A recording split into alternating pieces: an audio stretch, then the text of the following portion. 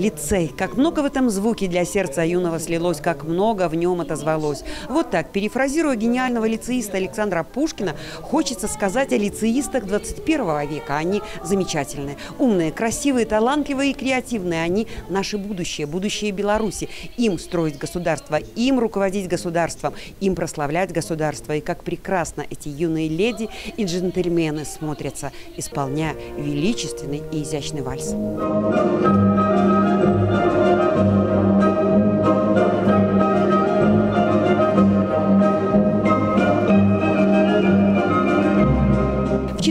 раз в Брестском областном лице торжественно отмечается бал науки, символизирующий день рождения учебного заведения. Пожалуй, один из самых значимых, самых волнительных и ярких лицейских праздников. И свой 14 день рождения мы отмечаем, практически завершая объявленный в нашей стране год науки. 14 лет – возраст незрелый, еще совсем юный, но вместе с тем, начиная с становления нашего учреждения, с 2003 года лицеисты ежегодно подтверждают качество образовательной подготовки своими победами на различных этапах Республиканской Олимпиады по учебным предметам, научно-практических конференциях, творческих конкурсах и спортивных соревнованиях.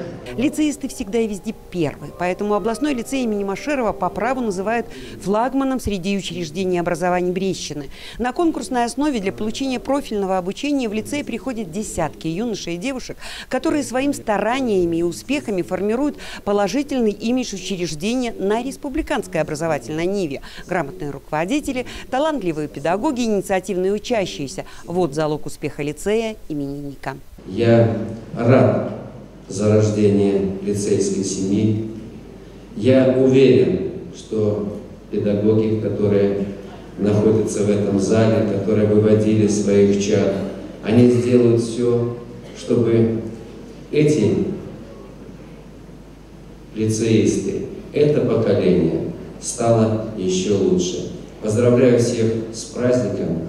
Лицеистам желаю, чтобы вы обязательно исполнили все свои мечты, о которых долго и много думаете, наверное, и обязательно, чтобы исполнили надежды своих родителей. Удачи всем! Я уверена, что формулой успеха лицеистов является высокий профессионализм педагогов, умноженный на трудолюбие и пытливость ума самих учащихся.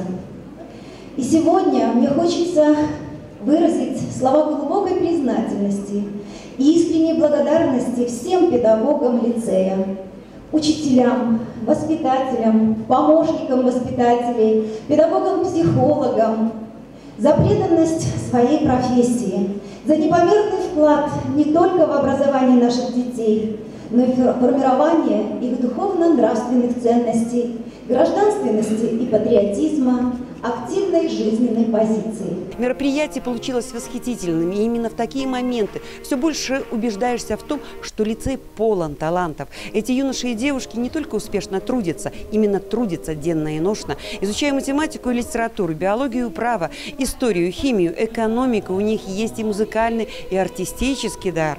И если бы герои других эпох оказались бы на этом балу, то не нашли бы больших отличий, за исключением, пожалуй, вспышек фотоаппаратов и огромного экрана экрана. В остальном все как пару веков тому назад. Бал получился крайне торжественным, красивым.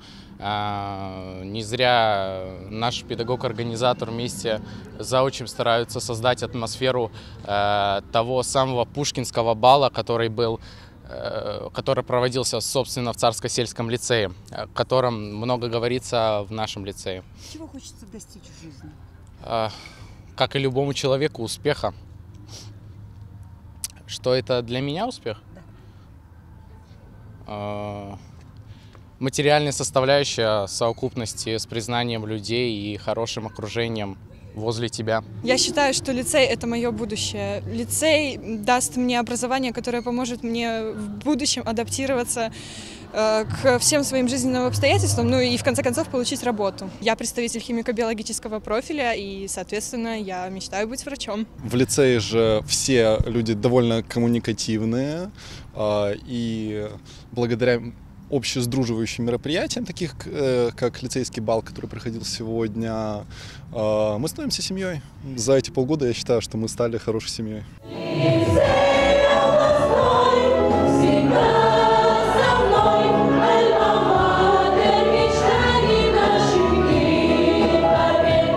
Лариса Осмолович, Григорий Пекарский, Дмитрий Лазарчук, телекомпания Бук ТВ.